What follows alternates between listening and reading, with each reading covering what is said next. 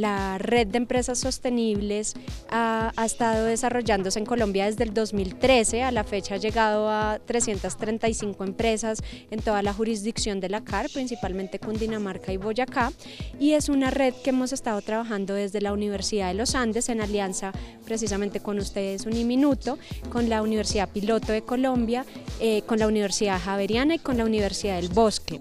Lo que busca la red es básicamente generar producción más limpia, aprendizajes y capacidades en temas de mejoramiento ambiental asociado a la competitividad empresarial y, a mayores índices de productividad. Entonces es ver cómo a partir de encadenamientos liderados por empresas ancla podemos llevar el mejoramiento a lo largo de la cadena de suministro para que empresas diseñen alternativas de mejora con beneficios económicos tangibles y beneficios ambientales. A la fecha el programa con estas 335 empresas ha logrado que las empresas se ahorren eh, casi 29 mil millones de pesos, 10 millones de dólares y beneficios ambientales significativos equivalentes a, al impacto de, de un municipio de unas 45 mil personas aproximadamente. Uniminuto ya ha hecho un análisis específico de los objetivos de desarrollo sostenible. Incluso hicimos parte de la mesa de responsabilidad social universitaria que se desarrolló aquí en Bogotá, donde está el Orsal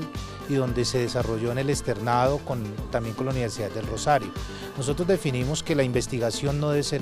no es per se, debe arrancar desde las necesidades del contexto y es allí donde estudiantes, docentes y unidades académicas propenden por soluciones específicas. Contaduría tiene una ventaja específica, es que en sus líneas de trabajo está articulando prácticamente seis objetivos de desarrollo, donde propende porque la empresa como tal genere innovación, genere emprendimiento, pero adicional que logre un desarrollo sostenible y se busca también la sustentabilidad. Nosotros entendemos como sistema uniminuto que para poder generar este tipo de soluciones tenemos que buscar aliados estratégicos, nacionales e internacionales, sector privado, sector público. Por esto esta red que involucra empresas ha eh, generado posibles vasos comunicantes entre el sector privado, el sector público y la unidad académica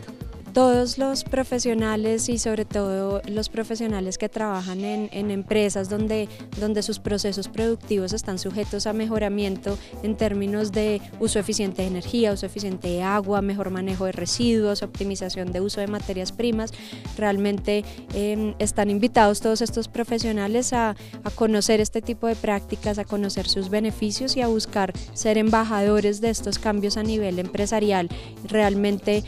romper el paradigma de que lo ambiental cuesta más, de que lo ambiental se, se asocia únicamente a la normatividad y ver cómo realmente la eficiencia en los procesos no solo genera beneficios económicos, sino beneficios ambientales en pro del desarrollo sostenible, eh, atendiendo todos estos llamados a nivel internacional de la ONU, de los Objetivos de Desarrollo Sostenible y, y a nivel Colombia del COMPES de Crecimiento Verde y de la, de la Estrategia Economía Circular que se está gestando en el nuevo gobierno.